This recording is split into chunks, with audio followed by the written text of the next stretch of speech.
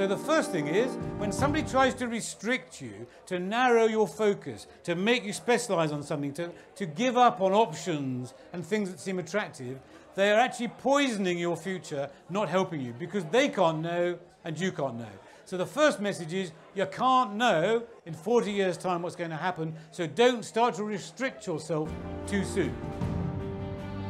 A lot of failures in my, in my life. Um, I've, I've had parts of the business that have been very unsuccessful.